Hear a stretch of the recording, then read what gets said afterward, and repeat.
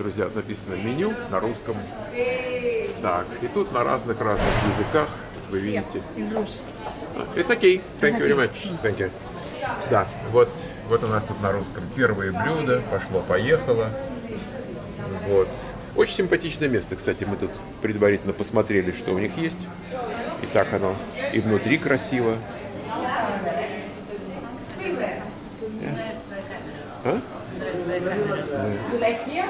Yeah. Hola, bon dia.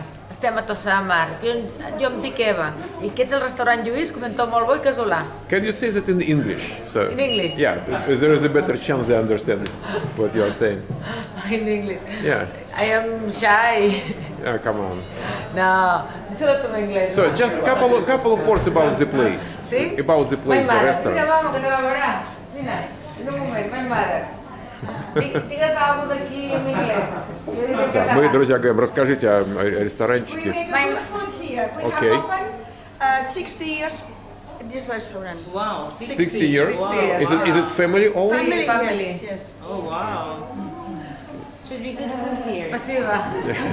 Вы видите, друзья, меню нам дали, которое на трех языках, на русском, итальянском и ук- украинском даже. Вот я первый раз, на самом деле, вижу на украинском.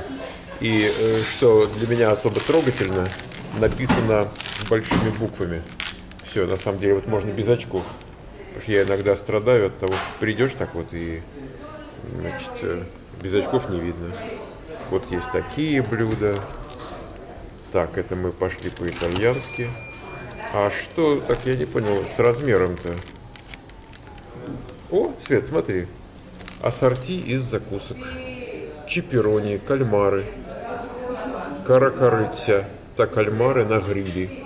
Ну, вот смотри как интересно получается. Единственное, что макаронни вырубы. Э, я не понял, я, я на русском не вижу много.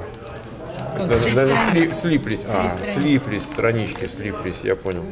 Ну что, друзья, я приступаю к изучению. Посмотрите, как очаровательно сделаны эти люстры из колес от телеги с лампочками. Э, Очень, очень трогательно.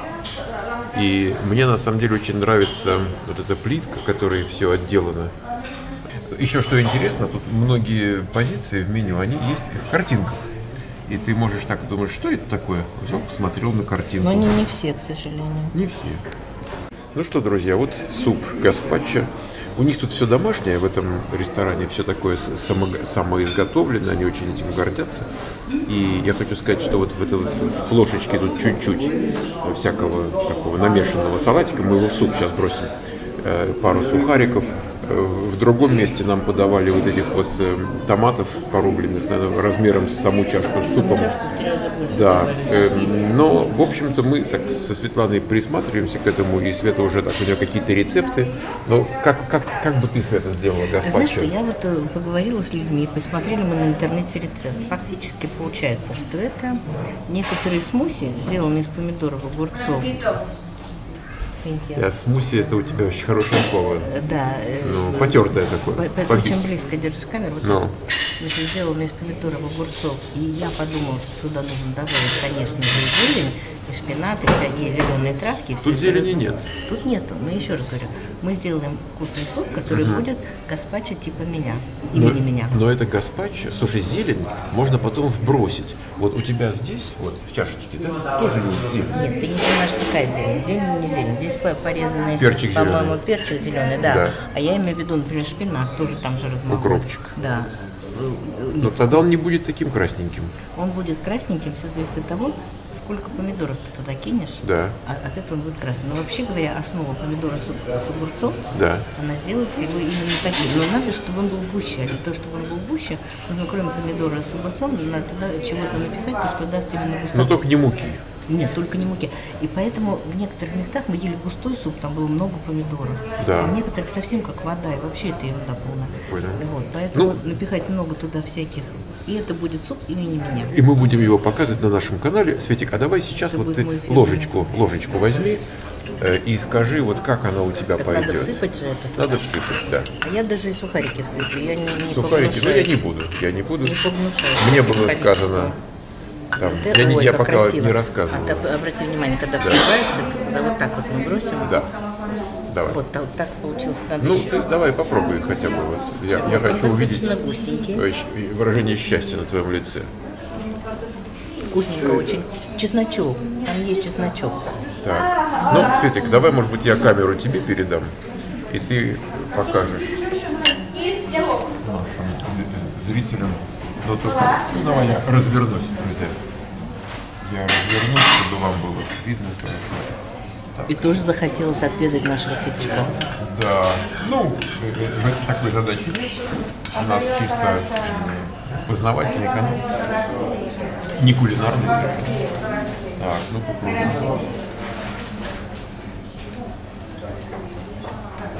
Вкуснее, чем вчера с чесночком. Понимаешь история? Он... Вот я себя чувствую как какой-нибудь богатырь, которого там какой-нибудь там злой враг. Бах его об землю русскую там. И вошел он по И, колено в землю. и вошел по колено в землю, и земля ему сил дала. Вот это тот суп, понимаешь, который вот как та земля. То есть ты его берешь ложечку и прямо готов к подвигу. Годится. Ну что, друзья, ко мне пришел барашек. По идее, он с картошечкой, но я попросил заменить мне на овощи на гриле. Вот. Ну и барашек, собственно, такой тоже на гриле. Эм, так, теперь, Свет, что у тебя там? Это у меня какая-то местная рыба, которая вот именно местная для этого места. Точно, точно, это какая-то рыба, Она- название она не помню. духовке, Но нам вот сказали, вижу, что мы с хотели, мы хотели дораду. Но они говорят, если хотите местную, прям уж совсем местную, чтобы вот только у нас такую ловят, то вот, говорят, возьмите вот эту рыбу. Да, и она с овощами. И с она, не мало того, она с мидиями, то есть такой как бы... Вот смотри, тут, Комплекс. конечно, по количеству довольно много всего. Ну, мы сейчас будем разбираться с количеством и со всем остальным. Друзья, приступаем.